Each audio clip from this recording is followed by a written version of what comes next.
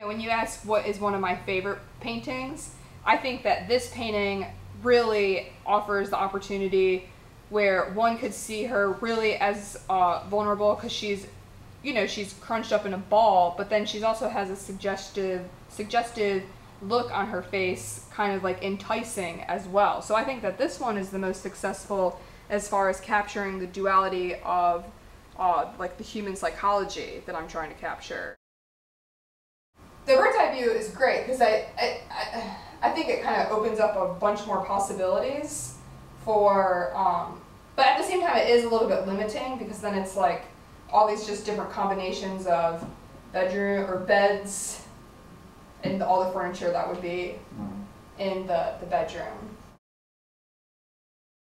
Pottery Barn, like Anthropologie, uh, West Elm, like all of the, the um, you know, home decorating magazines are a lot more valuable to me than, um, than some of the things that other artists are doing right now. And this last, like the last six paintings, have all had uh, a floral pattern in them and a more geometric pattern in them, like a stripes or checkered or um, diamonds. Right.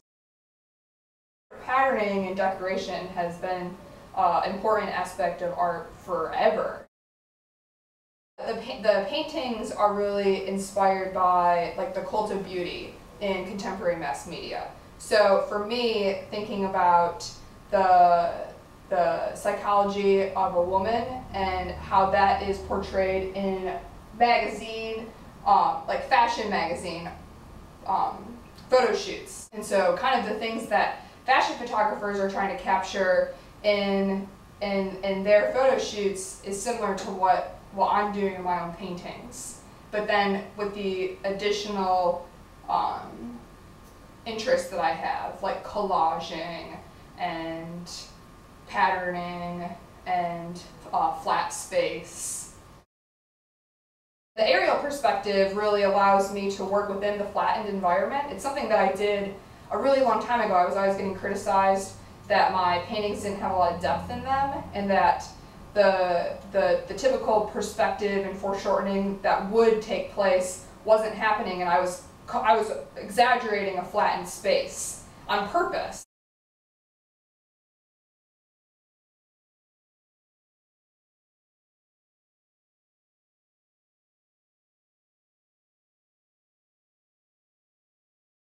Everybody is just bringing their own psychology to the work. And so they see themselves in them. So for me, they're personal diaries. But I think that they go beyond just being a pretty picture. The bedroom is really like my sanctuary. Like that's where like I feel most comfortable and where I can go and be myself. They don't actually look like me, but I think that portraiture is always about documenting the self. Well, the deer head, going back to the deer, symbolizes